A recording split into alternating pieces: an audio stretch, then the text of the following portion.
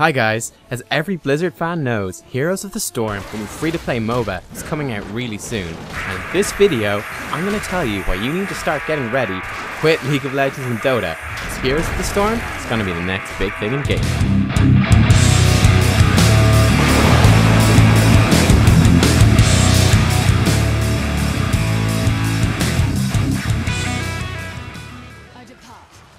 Everyone who's played a MOBA knows that they're one of PC's most polarizing genres.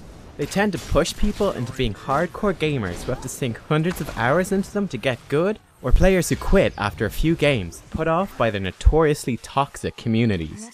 Heroes of the Storm is a breath of fresh air to that scene, as it cuts out all the baggage that makes this genre so contentious. When we look at Heroes, we see some really big changes to the familiar MOBA design.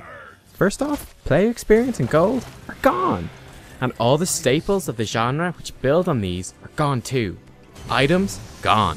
Prolonged laning phases to farm up these items, gone. And a metagame which pushes half the players onto carry champions who have all the gold and experience funneled onto them, while the rest of the team gets relegated to underfarmed and underpowered champions, is gone too. So what does Heroes do instead? First off, there's team experience and team levels. Nothing is individual, it's all about the team. And everyone being on the same level means everyone is equally powerful. Second, you get all of your abilities from level 1. There's no skill ranks at all. Instead of those traditional forms of progression, you now get talents at level 1 and every 3 levels after that. At each talent tier, you get to choose one of 3 to 5 different things which either alter your existing abilities or give you new ones instead. For example, you might be able to pick 25% extra range on one of your abilities, or maybe get a new ability which drops a totem that heals everyone near it. Third, the game says screw 20 minutes of farming in lanes to get to 20 minutes of teamfighting. It's just started the teamfighting. The map design is really unique. Each map has an extremely powerful objective that you need to be fighting over pretty much from level 1. There are 7 completely different maps right now, with more to come. Two of the games I'm showing in this video are from the Blackheart's Bay map, and the objective here is to collect coins that drop from monsters and chests, and turn these into Blackheart at the centre. Once you've turned in enough, this pirate ship will blow a big chunk out of your enemy's base. This map is particularly crazy, and there are skirmishes happening all the time, and huge teamfights breaking out whenever someone tries to turn in their coins to Blackheart. Maybe the biggest difference between Heroes and Dota though is that it's much harder to suck. Tricky skills that take a long time to learn, like last hitting and item builds, just aren't in the game. And because of the focus on objectives, dying isn't half as punishing as it is in other games. There's also a somewhat hidden feature in place, in the form of a serious catch-up mechanic that gives teams bonus experience when they're behind.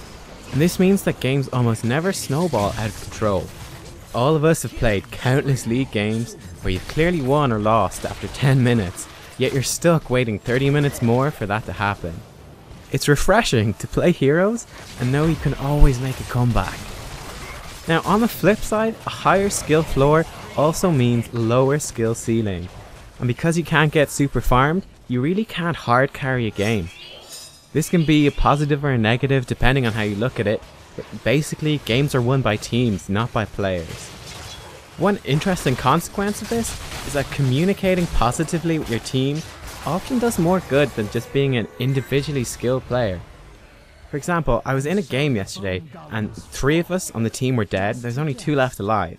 We were on the Cursed Hollow map and the objective there is that a token will appear at a random part of the map and you need to collect it five players on the enemy team were at the token, and when I looked at the two guys still alive on my team, I, I could just see in their eyes that they were going to run in and just die for nothing. So I opened up my chat and said, don't go in, you're just going to die.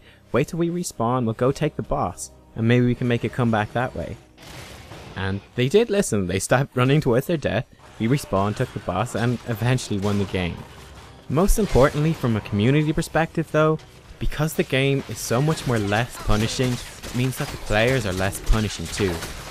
Yeah, there's still toxicity, but it's nothing compared to the stuff I saw when I was playing League. From a social perspective, playing with friends is very easy and very rewarding. Team games are more fun when your friends are the team. But design of other MOBAs kinda gets in the way of that because individual skill matters so much. The higher skill floor in Heroes means that the game is so much more accessible to new players, and it also means that a veteran can go and play with new friends who've just picked up the game. You don't have to wait until your friend has completed hundreds of games to get the skills necessary.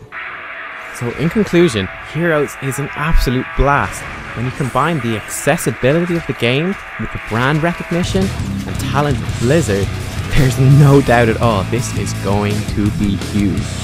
So thanks for watching guys, I hope you're getting as hyped for Heroes as I am, and I'll see you all on the Nexus.